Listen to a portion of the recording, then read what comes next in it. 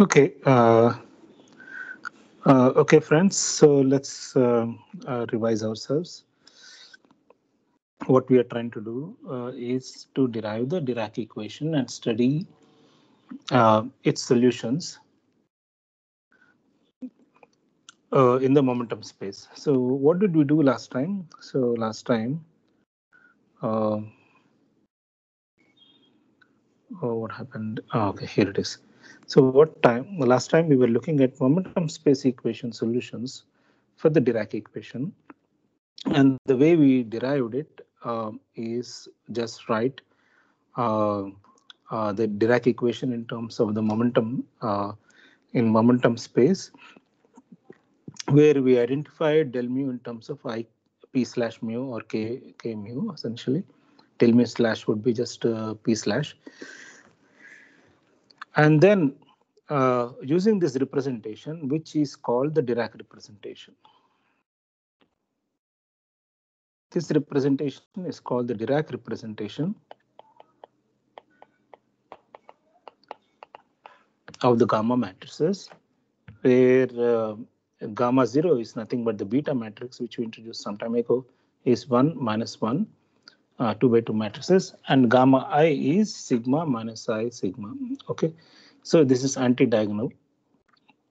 And using this, we derive the, uh, so we put it back into the equations of motion, uh, into the momentum space equation of motion, where uh, the UK is subdivided into u of uh, u and b, two spinors, two two component spinors.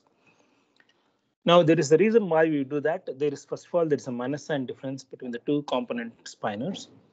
So uh, the upper has uh, the uh, the lower spinor has a minus sign which is different compared to the upper uh, uh, upper spinor that's the reason even within the within the equation of motion and that's the reason why we separated it in terms of two two component spinors the upper two components in fact uh, uh, have uh, the satisfy the a slightly different equation of motion whereas the lower two components satisfy another equation of motion because the first the upper two components corresponding to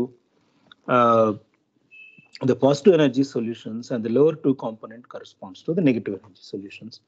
So we wrote them down in this particular fashion and you see that the, both the equations of motion, uh, the upper part and the lower part, you can make them into quadratic and they satisfy the Klein-Gordon equation essentially u of so the, both of them satisfy e square is equal to e square plus each component of the Dirac equation or the Dirac spinor satisfies the Klein-Gordon equation.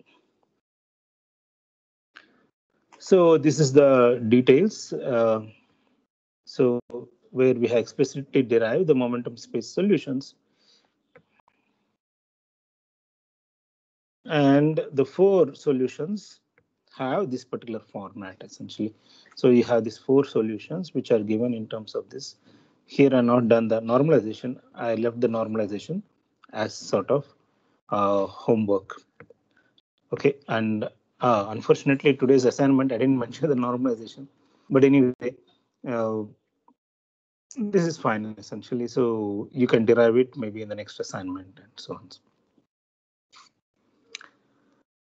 Now let's uh, see why. Uh, now let's start uh, looking at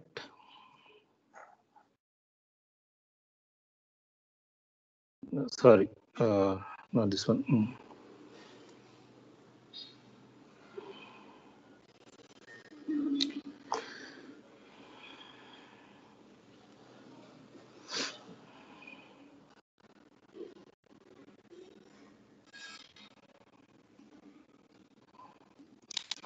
So let's start looking at uh,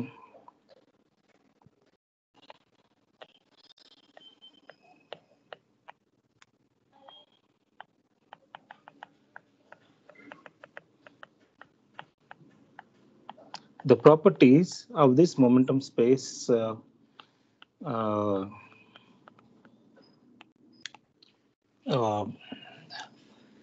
uh, solutions.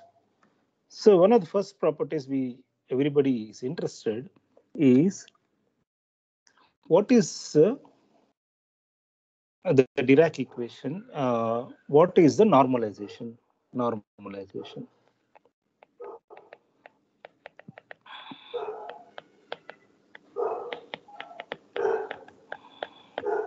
Now, once we have wave functions of some particular equations, we need to know that these wave, wave functions are complete, A, whether they satisfy completeness relation and they satisfy orthonormal relations.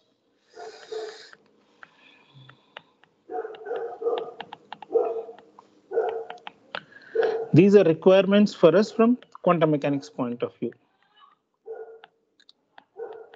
Okay, so these two relations require uh, our some uh, meaning whether this they really can form they can represent uh, these two are extremely important for the for us to know whether these two uh, the set of equations uh, the set of solutions we have found uh, can represent physical states or not. So if they have to represent physical states, they have to satisfy these two conditions.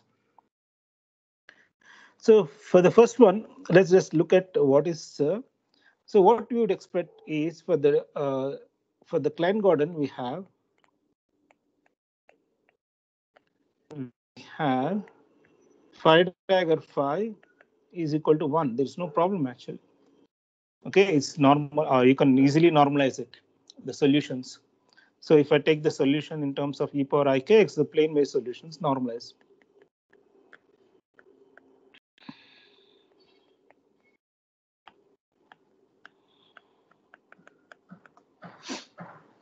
Now we said, okay, the Dirac uh, spinor is the square, the Dirac equation is the square of the Klein-Gordon equation. So with that assumption, with that uh, sort of uh, thinking, say suppose if psi is equal to psi 1, psi 2, psi 3, psi 4, I would expect something like psi 1 dagger psi. Okay, psi 1 dagger psi should be invariant. What do you mean whether it's a scalar or not? Okay, the problem is psi 1 okay psi 1 dagger psi 1 uh, psi dagger psi sorry is equal to mod uh, so it's is equal to psi 1 star psi 1 plus psi 2 star psi 2 plus psi 3 star psi 3 plus psi 4 star psi 4. So this is nothing but mod psi 1 square plus mod psi 2 square plus mod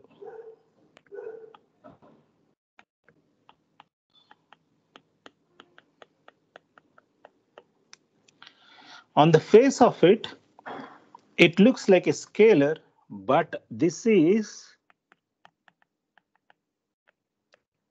not a Lorentz scalar.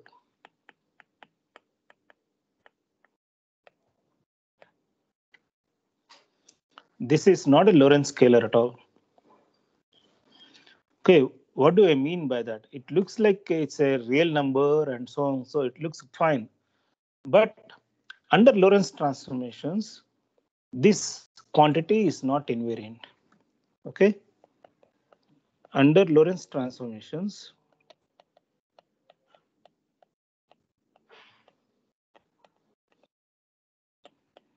this quantity is uh, not invariant.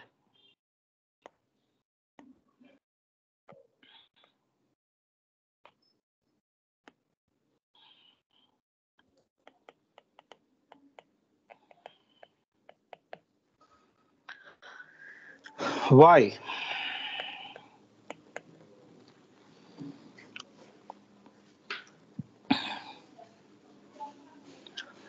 Now, this is an uh, actually the answer is non-trivial. The answer is that the Dirac equation itself, the Dirac spinor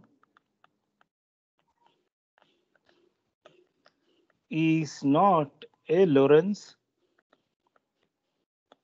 invariant quantity. Okay, that is fine. Secondly,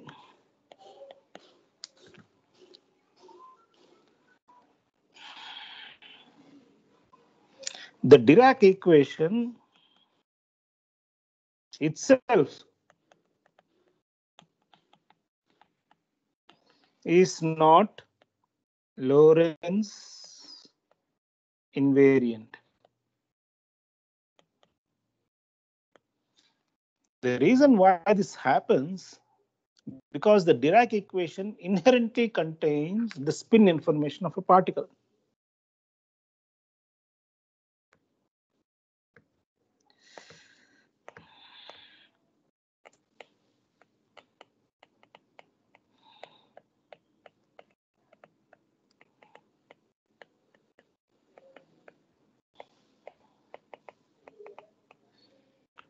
The spin information of a particle. So what it means that if you see, okay, if you have one basis here, one frames S1 and another, okay, let me call it uh, some other name, say not S1, uh, say because S will use it for the transmission. Uh, O1, the another frame O2, and if you have a spin of the particle pointed in some other direction, depending upon the speed, okay, e, the spin may be completely different. It could be in principle in a completely different direction, depending upon the speed of the uh, speed, relative speed between the frames uh, say O1 and O2 depending upon the spin. So something which is say for example moving up could be something else uh, maybe looking at some opposite. So if you take a projection uh, rather, uh, actually this spin itself is not a really uh, good quantity. So suppose if I'm moving with a uh, say particle is moving with a spin in up direction and it's moving in this direction, say for example, and I take the projection of the spin on the moving direction of the momentum direction. So it will be something like sigma dot p. Now, if you compute the sigma dot p, because this will be a c prime, p prime, because the momentum is completely different. Okay, in a different frame, the momentum is completely different. So the sigma dot p prime could be a completely different uh, thing, say something which is happening. Uh, okay. So in principle, the Dirac equation, which is we wrote down, contains sigma dot p inside it. Actually, in the uh, in the equation itself, E is not an invariant equation. So it is not constructed out of invariant quantities. Say, for example, compared to say Klein-Gordon equation, which is constructed in terms of uh, invariant quantities like mod uh, del square and uh, m square. So the Dirac equation is not constructed in terms of the invariant quantities, but it is sort of, uh, it is called something called form invariant.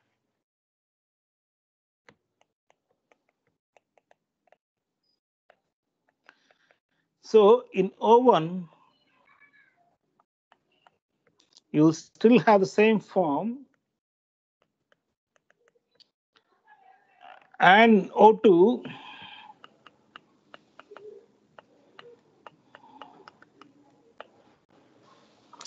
you'll have the same form, but these two Dirac equations have the same form, but they are not equivalent, not equivalent.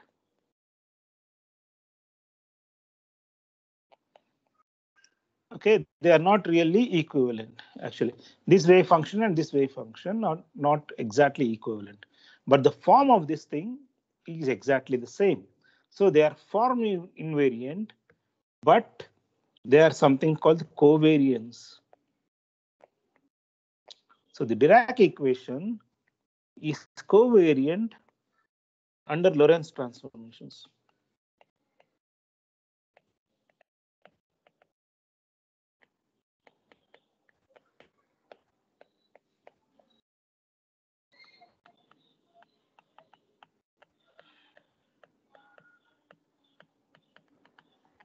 The uh, okay it's a essentially it transforms. So you can write it in the same form but it's not exactly the same.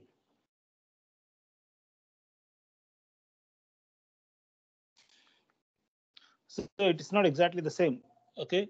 The form seems looks looks like uh, uh, is exactly the same but the equation and its solutions are not the same because purely because we have sigma dot p okay uh, as we have seen in lecture 7 in uh, uh, okay. So in lecture 7 so for example i'll repeat that uh, part. So let's see that uh,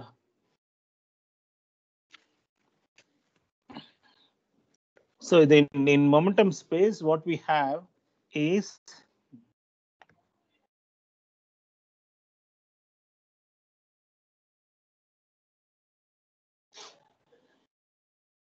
the form of the Dirac equation is here we have uh, essentially P0 minus M or okay minus P dot sigma. Then we have P dot sigma. Then this is minus P0 minus plus M times UA UB. So this is your Dirac equation in momentum space. So what we did see now you see that there are two things.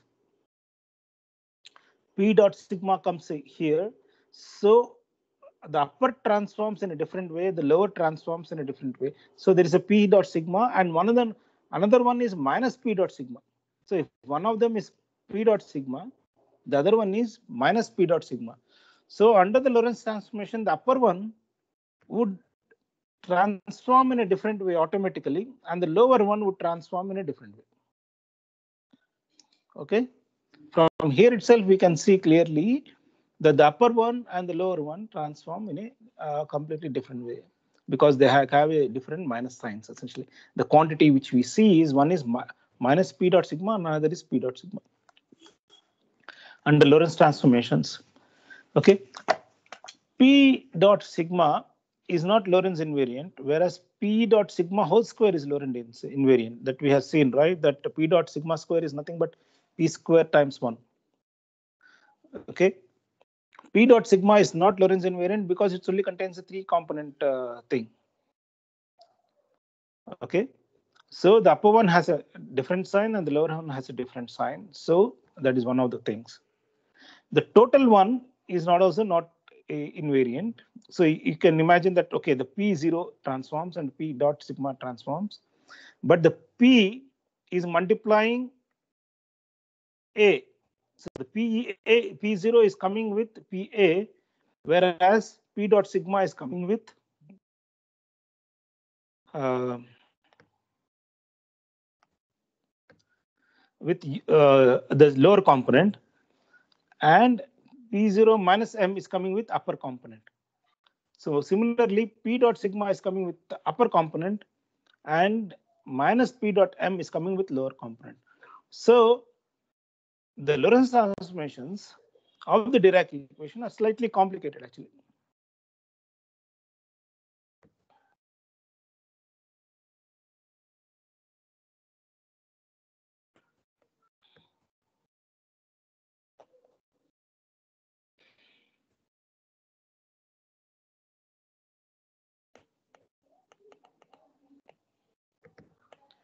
Are complicated. And uh, I think uh, it will be dealt in detail in QM3 course. I won't uh, uh do that course, uh, meaning I won't go into the details of it, but I'll just use some results. We what we'll do is we'll only do the results. Okay, we'll finally find uh, finally see the results essentially.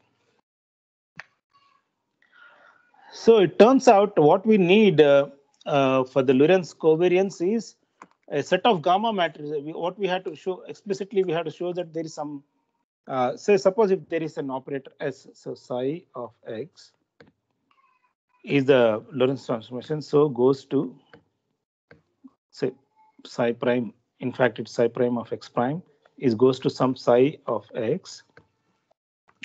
If this is, it turns out that typically for proper Lorentz transformations and uh, space rotations, S is not unitary.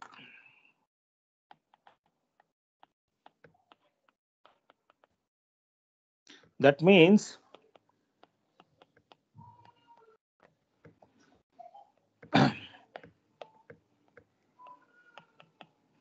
is not equal to 1.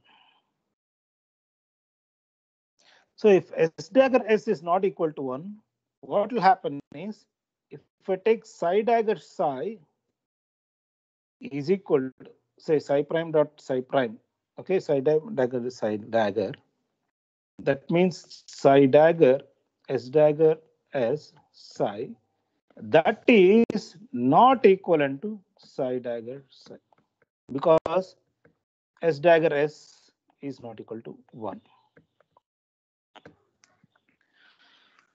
Okay.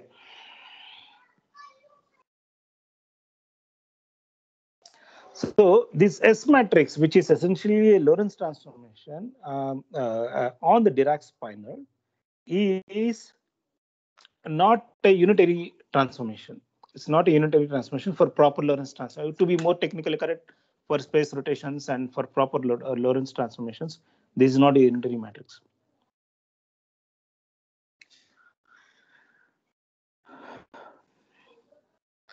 Why is this happening? Because as I've been stressing, the space of spinors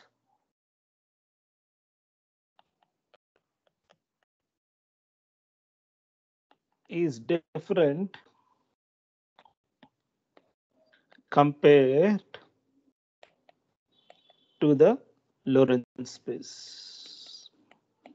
So it is not ordinary Lorentz space where it is a four vector okay? Or whether it is a, a bit uh, meaning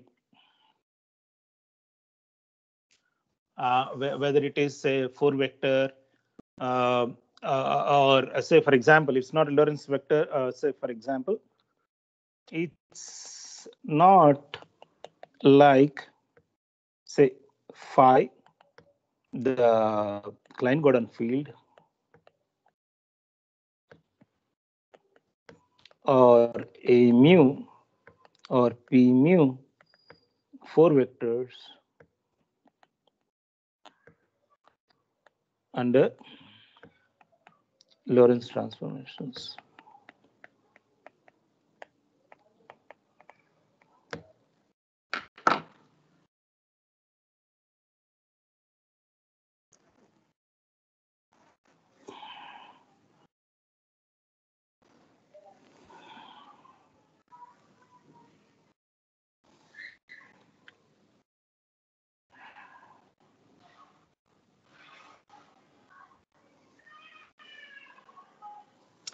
Now,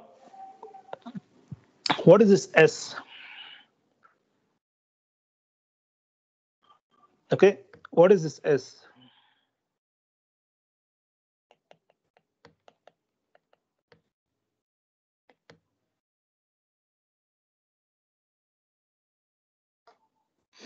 As technically you can derive it will be given in particular case exponential uh, so minus i by 4 sigma mu theta mu some parameters.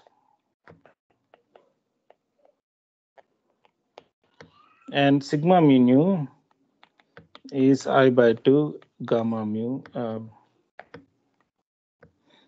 the correct commutator of Lorentz. This is the commutator uh, of gamma matrices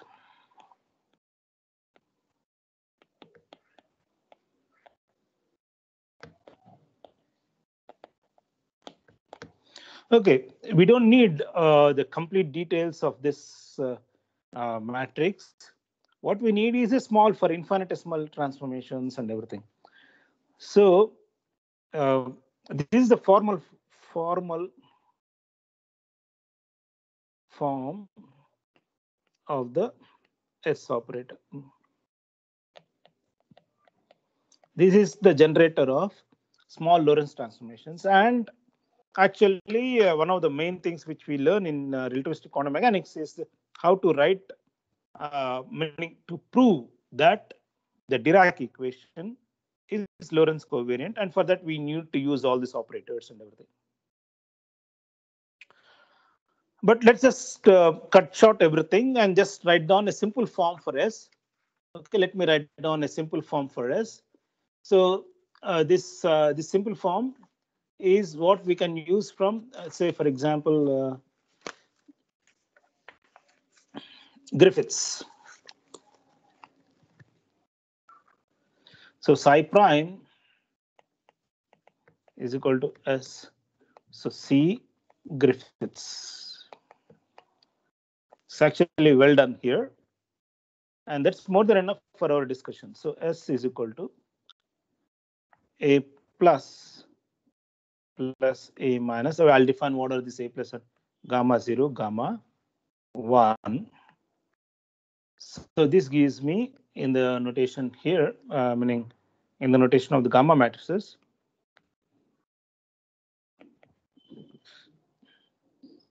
A plus A minus sigma 1, A minus sigma 1, A plus so there is a minus sign here. as Essentially, this uh, sorry, this is a plus here. So this is equal to a 4 by 4 matrix because it works on a plus 0, 0, a plus 0, a plus a minus 0, 0, a minus a plus 0, a minus 0, 0, a minus.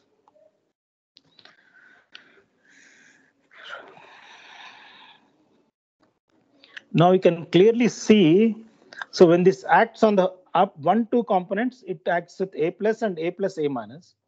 Three, four components, it acts with a minus a plus and a minus a minus. So this is obvious. This is what I have been saying that the upper two components transform uh, differently and the lower two components transform differently. This we are seeing it in several ways and this is what. And what is the definition of a plus?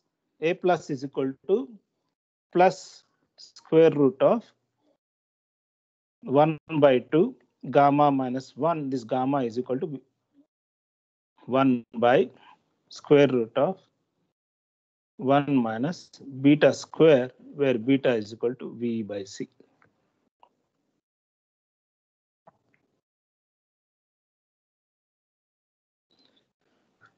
Okay, so this is actually the, the gamma of the, uh, the Lorentz boost essentially the gamma of what we introduced in the special theory of relativity and the lecture two or three essentially. So with this form, explicit form of for the S, we can check S dagger S is not equivalent to one.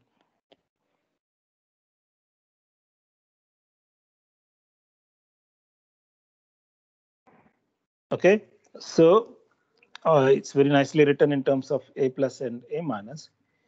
Okay, so what it so this s is for so small Lorentz transformations. You can really write it in this particular fashion,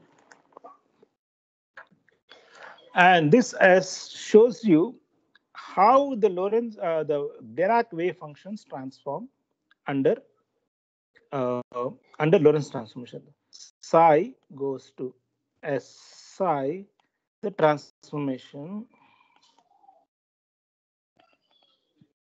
of the Dirac spinor under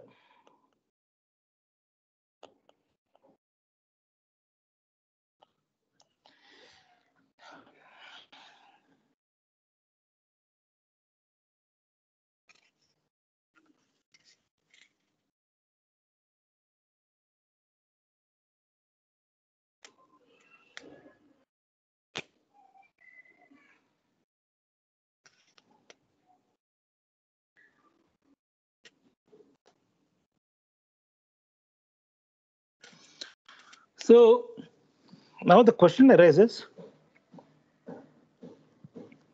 how do we form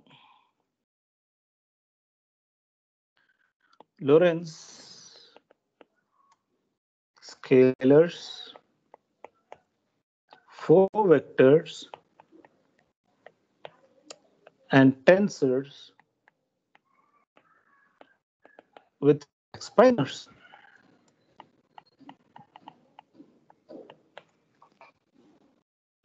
Now, this is a very, very important question because suppose if we don't have Lorentz scalars, okay, that means we cannot really have uh, an invariant quantity. You cannot really construct because we need, so for example, Lagrangians, Dirac Lagrangian should be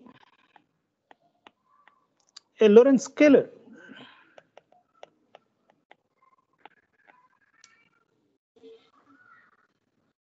So all the Lagrangians should be a Lorentz scalar. Now, how do you, you cannot even construct Lagrangians, okay? So if you cannot really uh, have what are these, uh, uh, meaning how, if you don't know how to construct this ones, then we will not be having any possibilities of this one. So luckily, what it turns out is if even if S itself is uh, uh, not unitary, you can have things like you can show that S inverse, if you multiply with gamma zero, then S inverse is equivalent to S dagger. So you can construct S inverses. So if you multiply with gamma zero, you can construct unitary operators. So this is an important thing. Okay. So this implies that you can have invariant quantities from multiplying with gamma zero. In other words, what we can say is if you multiply with gamma zero, you can have uh, uh, meaning, say for example, S dagger gamma zero S, which is nothing but uh, gamma zero is equal to gamma zero. This is the possibility. Okay. One of the main things is if you multiply because gamma zero is a four by four matrix. So you can always write S inverse gamma zero S inverse S is equal to gamma zero. So that means this is unitary S inverse. Okay, where I replaced, uh, okay. No, sorry, sorry, sorry. This is uh, 4 by 4 matrix. So you can write an operator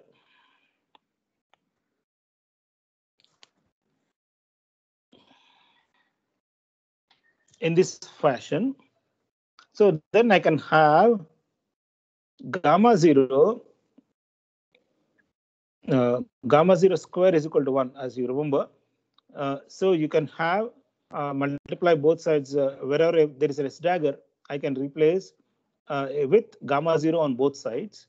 So this will also imply, okay, that I can construct uh, operators with S inverse instead of uh, gamma uh, daggers. Anyway, so what it means that because it's a 4 by 4 matrix, you need to apply Lorentz transformation on both sides, both uh, uh, on uh, left hand side and right hand side. Okay, it's like a gamma 0 is like an operator. So psi is also an operator, but it's like a wave function. So you can think in terms of wave function. So uh, gamma 0 will be like, like a operator. So the main point is that the gamma matrices themselves should be shown to be covariant. They can themselves transform under Lorentz transformations. That's the reason why all this is happening. So you, you need to, it can be shown that the form of the gamma matrices will remain invariant uh, under uh, the Lorentz transformations. anyway, that part we will show it later on. Uh, we will not show it, but this can be studied in, say, for example, in uh, various textbooks on quantum field theory, like, for example, Bjorken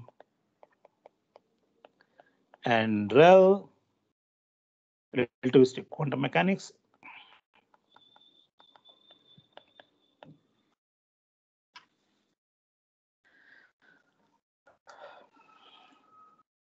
Um, or uh, some modern textbooks uh, or Greiner,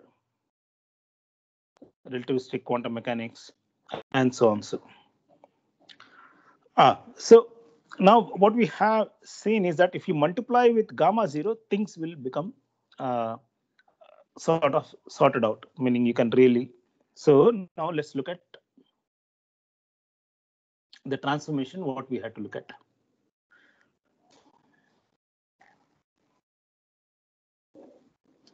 So if we have, instead of sandwiching,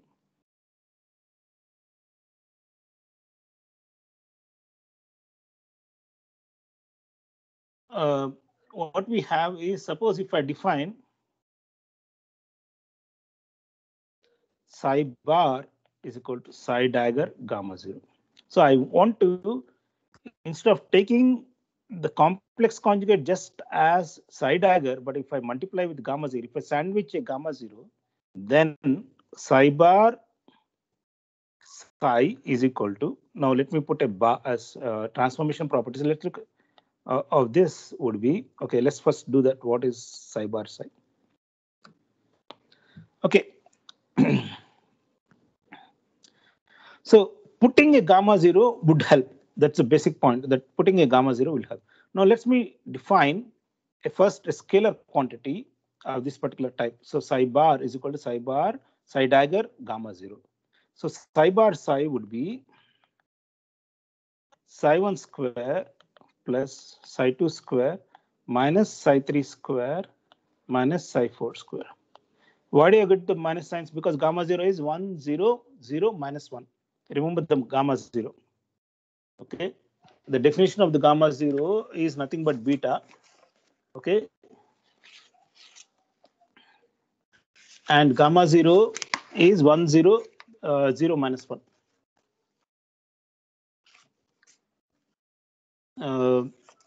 it is uh, gamma 0 is called 1 0 0 minus 1 i think it is there in the uh, several times in the previous lecture so if you multiply psi 1, psi 2, psi 3, psi 4 with this, so the lower two components get a minus sign and you get this one. Now what we can show is that this thing, psi bar psi, is invariant under Lorentz transformations.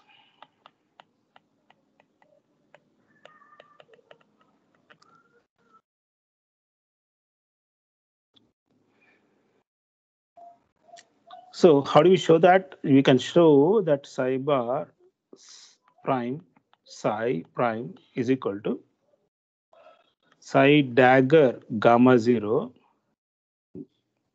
psi dagger gamma 0 that is equal to psi dagger s dagger gamma 0 s psi prime no, sorry sorry here it should be s okay so this, I said that psi dagger gamma 0 psi is invariant to equivalent or it's just equivalent to gamma 0. So I can substitute that. So I get psi dagger gamma 0 psi and that is equivalent to psi bar. So what we have is a Lorentz invariant quantity. It's a Lorentz invariant quantity. That means psi bar psi is a Lorentz invariant quantity. This is not covariant, this is invariant. So it's a Lorentz scalar.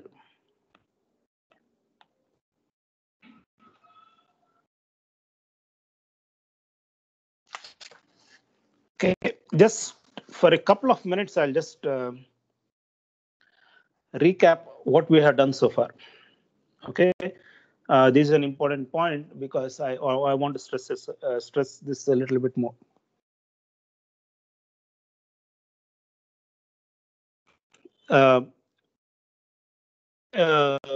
Because uh, we are not going into the complete derivation and you know the entire point, uh, meaning how to show this. Okay, the point is that the Dirac equation is not the Lorentz invariant quantity.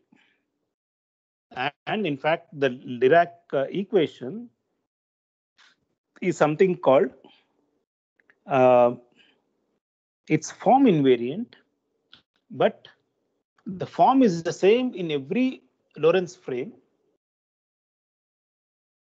The form of the Dirac equation is every uh, in the frame, but the wave function, the solutions of the Dirac equation are not the same, okay, in every frame.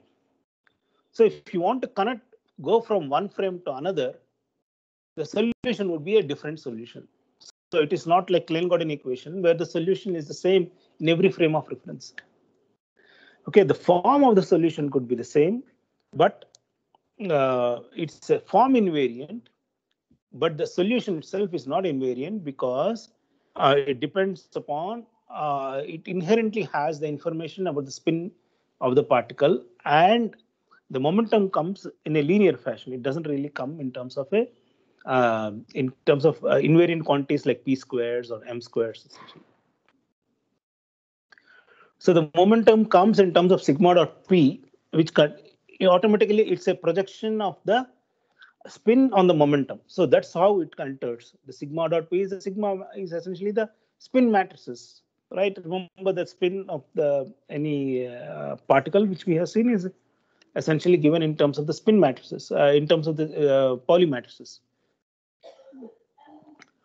So for that reason, the Dirac equation, the solution to the Dirac equation are not invariant like a Klein-Gordon equation or so on so. So the solutions are sort of different. They get modified as you transform the velocities essentially. So if you go from a high velocity frame to a lower velocity frame, the projection of the spin on the direction of the momentum would be different. That is one complication. The other complication is the upper two components, okay, transform in a different way compared to the lower two components because one transforms as sigma dot p, other transforms as minus sigma dot p. Okay, so one transforms with a positive. Okay, I'll define what the sigma dot p is. It has a definite name actually. We will see in, uh, in the coming days. Essentially, uh, we'll have to define this projection. Okay, let me define it right away.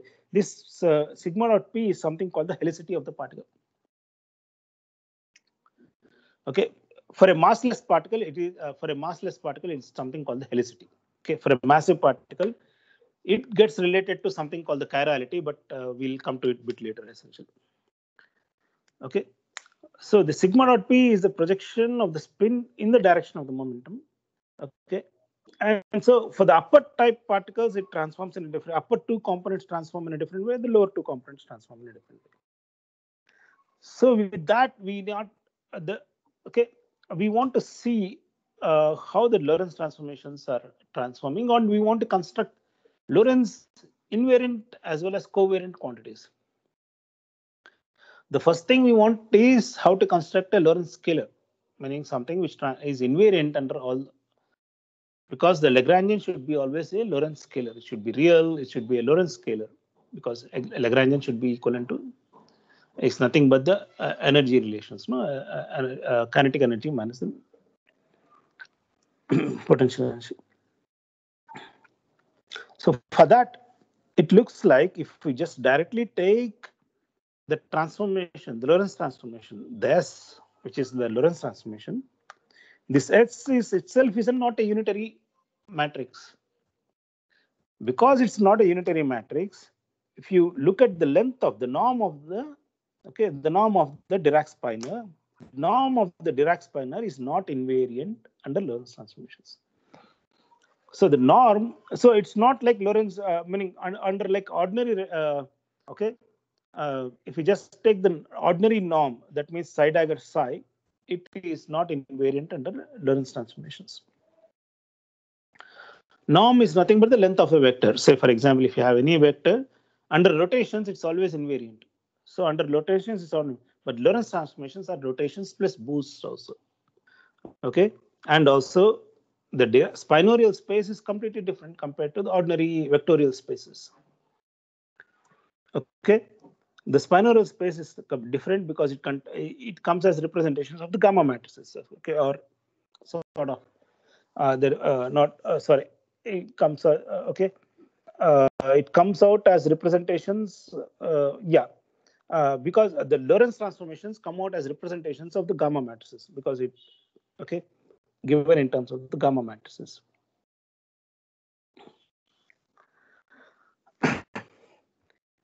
And so this S dagger is not a unitary matrix. So what happens is uh, the uh, you can show that if we write it for small Lorentz transformations given by this particular format form, okay, of the S matrix, S is nothing but uh, Lorentz transformation matrix it can be shown that S dagger S is not equal to 1. Now the question is, how can we construct Lorentz invariant uh, Lorentz scalars?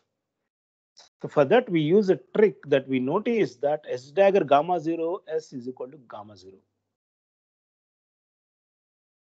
Okay, S dagger gamma 0 S is nothing but gamma 0. So gamma 0 is invariant under uh, these Lorentz transformations. So using that, okay. So the point is gamma zero is always a Hermitian matrix. If you remember correctly, it's always a Hermitian matrix. Gamma uh, gamma i here anti-Hermitian matrices. So that's the reason why there is a difference. So using that, you can define a quantity psi bar gamma uh, psi dagger gamma zero which has positive signs for uh, it adds up psi 1 and psi 2 and minus signs for the other two components. So this quantity psi bar psi is a Lorentz invariant quantity. It's a Lorentz scalar. And this we can prove it easily. Okay, just by assuming that relation. So that's the reason why we can construct uh, Lorentz scalars, okay, using bars rather than uh, daggers. Okay, Bar daggers are not Lorentz invariant.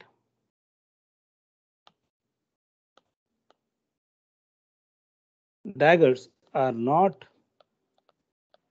Lorentz invariant.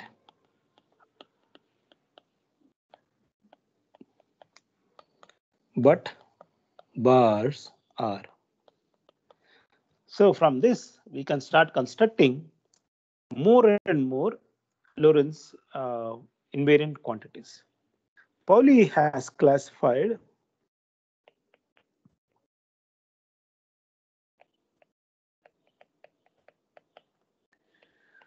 all the possible Lorentz covariants one can construct from two Dirac spinors. These are called bilinear covariants.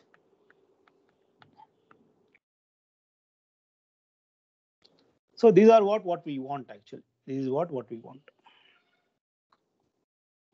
So let's uh, list this bilinear covariants.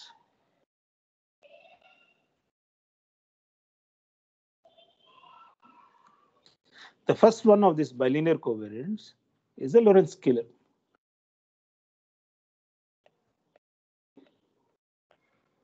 This is nothing but psi bar psi. This is it's S. Okay, scalar.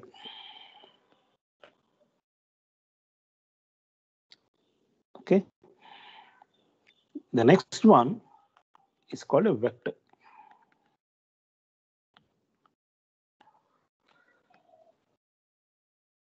this transforms exactly like a mu, p mu, exactly. Under Lorentz transformations, psi bar gamma mu psi transforms like a Lorentz vector.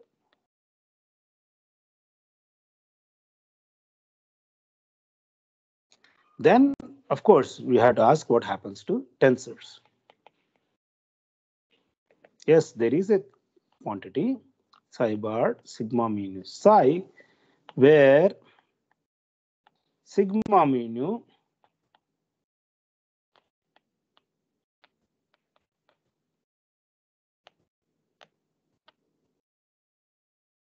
is the commutator, not the anti-commutator of the gamma matrices. Okay. This transforms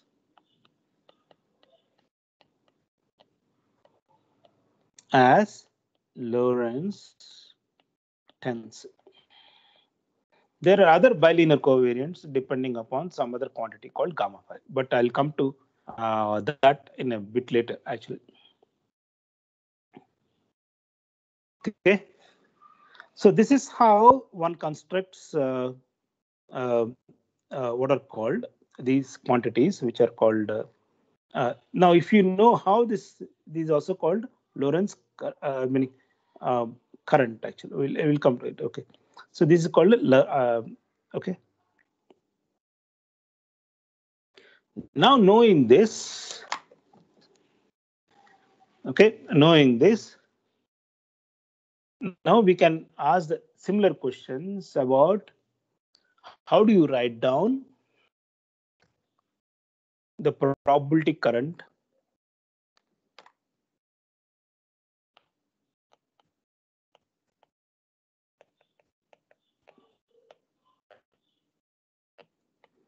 and density for Dirac spinors.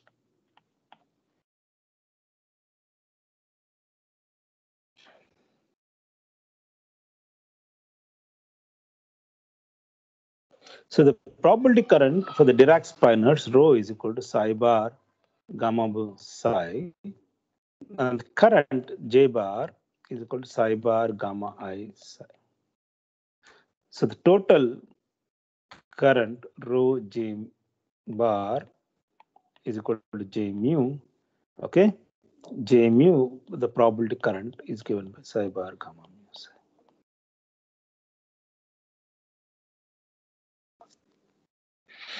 And the continuity equation tells you that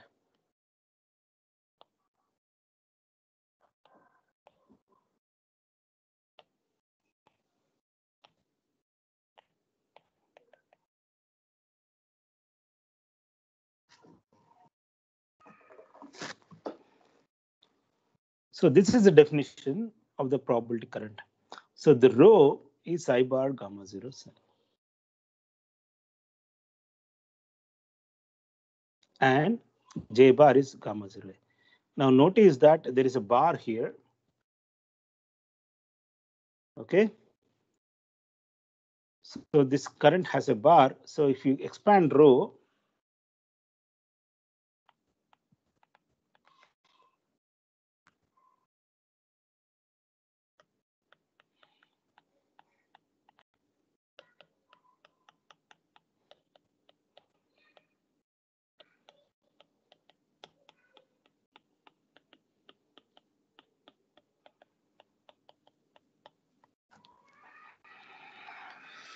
But this is not a Lorentz invariant quantity.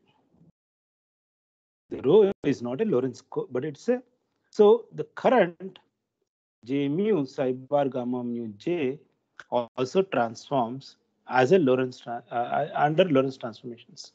So it is not a Lorentz invariant quantity. Unlike, uh, say, for example, even that's true even also in for the case of um, which is true even in the case of the Klein-Gordon equation. So the currents don't transform in the same, I mean, they are not invariant uh, they are not, uh, they are covariant quantities, they are not invariant quantities essentially. Okay.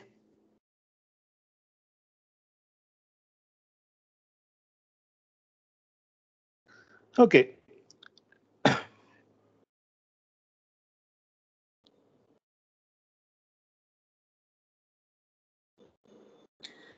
Now, now that we have defined uh, this, uh, okay.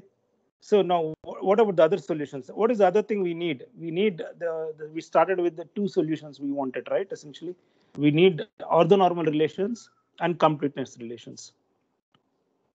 So now we can define them because we had defined uh, um, uh, um, bar.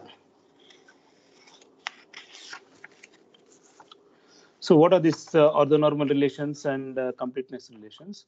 So if we have these functions, uh, the uh, the mu and uh, okay, so for that, let's just go further.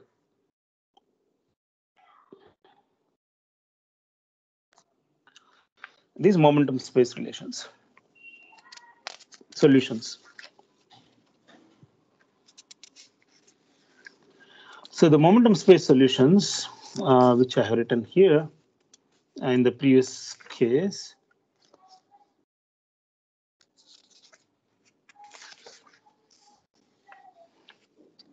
four canonical equations.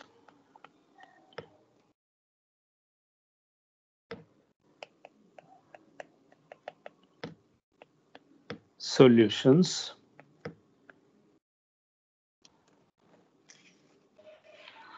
So we'll write them the positive energy solutions. So psi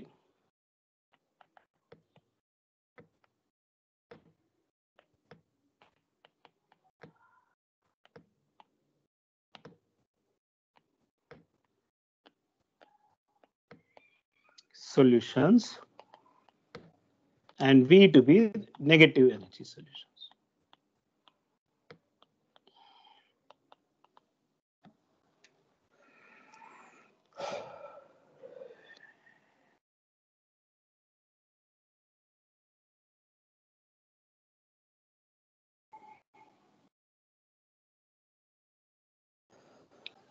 Okay, so these four positive and negative energy solutions are given by U of one. Uh, the first one is N. We'll define what is N is uh, okay one. I showed you in the previous class how to derive them. So PZ by E plus M, then Px plus IPy by e plus m n is equal to square root of e plus m.